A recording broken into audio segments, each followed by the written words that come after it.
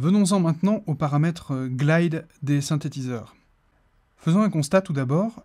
Euh, les instruments à clavier, tels que le piano ou le synthétiseur, à la différence d'un violon par exemple, ne peuvent pas faire de glissement d'une note à l'autre. On a une hauteur arbitraire, on passe à la suivante directement, et dans cette configuration-là, on n'a pas la possibilité de glisser euh, d'une note à l'autre pour avoir cette expressivité justement plus proche euh, des instruments à cordes non frettés comme le violon, le violoncelle, etc., ou certains instruments avant. Euh, heureusement, donc il y a un paramètre qui permet de justement générer ces glissements entre les notes, et ce paramètre, c'est précisément le paramètre glide. Pour le moment, il est à 0, hein, le paramètre glide se situe ici, et je vais l'augmenter progressivement et voir ce qu'il se passe. Je vais alterner deux notes.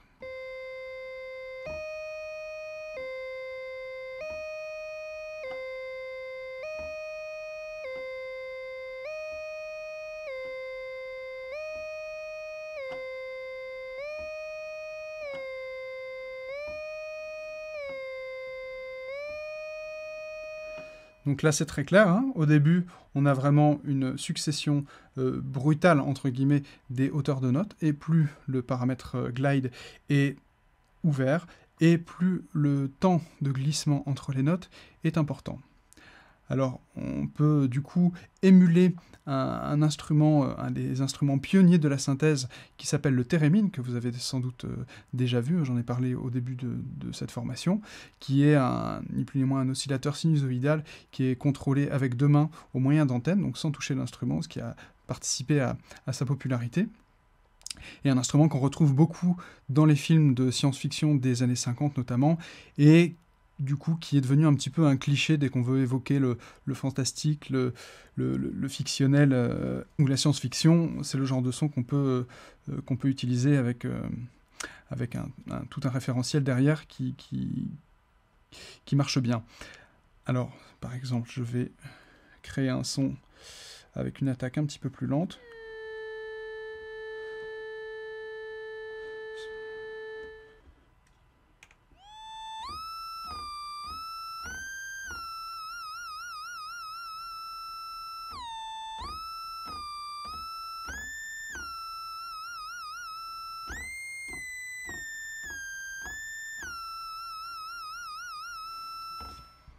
Voilà, voyons maintenant dans Massive comment se gère le paramètre glide. Alors, il faut un petit peu savoir où aller le chercher, puisqu'il y a tous ces onglets euh, au milieu euh, qui sont assez nombreux, hein, puisqu'on a les 8 euh, modulateurs et ensuite on a 8 fenêtres de, de paramétrage plus globales. Donc, comme c'est une caractéristique de l'oscillateur, puisqu'on va changer le comportement de la hauteur de l'oscillateur, on va aller chercher ça dans l'onglet oscillateur. Et là, au simple coup d'œil, vous verrez qu'on a ici un paramètre glide, dont le temps pour le moment est à 0, ce qui veut dire que la transition d'une hauteur à l'autre se fait instantanément.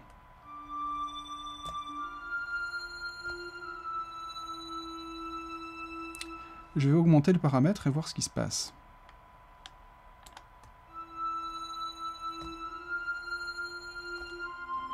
Je n'entends rien. J'augmente encore.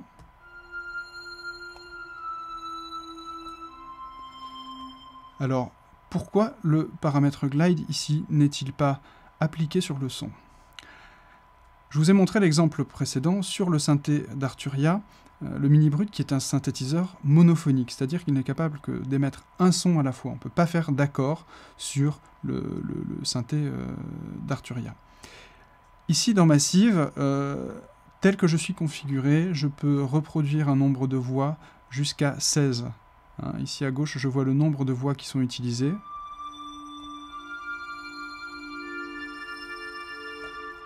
Et donc c'est impossible pour Massif de faire des glissements entre les notes si je peux avoir plusieurs notes simultanées.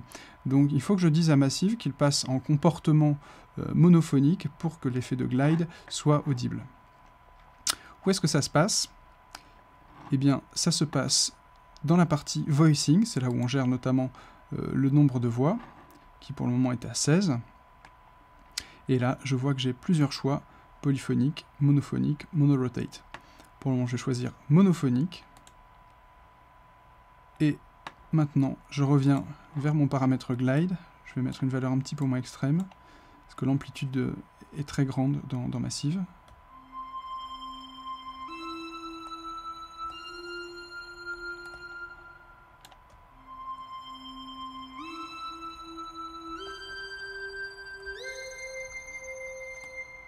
J'augmente encore.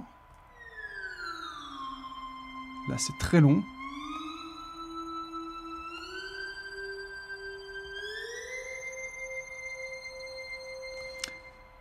J'ai deux manières dans Massif de régler le, le, comportement du glide qui sont equal et rate.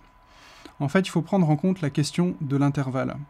Si le glissement de hauteur se fait de manière progressive, ça veut dire que euh, je mettrai deux fois plus de temps à faire, euh, un glissement de 1 ton qu'à faire un glissement de 2 tons. Ce qui est actuellement le cas quand je suis en mode rate. Je vais faire par exemple doré. Je vais attendre qu'il soit revenu. Voilà. Maintenant, je vais faire do mi, donc je passe de un changement de 1 ton à un changement de 2 tons.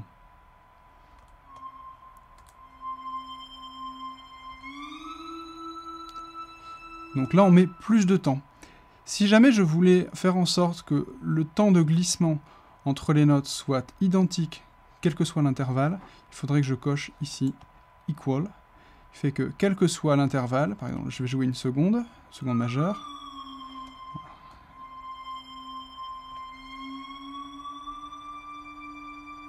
Je vais faire un intervalle plus grand maintenant.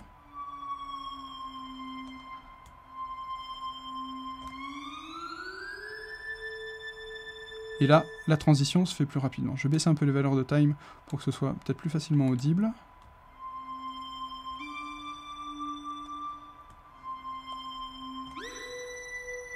Voilà, j'ai eu un intervalle beaucoup plus grand, et néanmoins, le temps de l'interpolation d'une hauteur à l'autre est identique.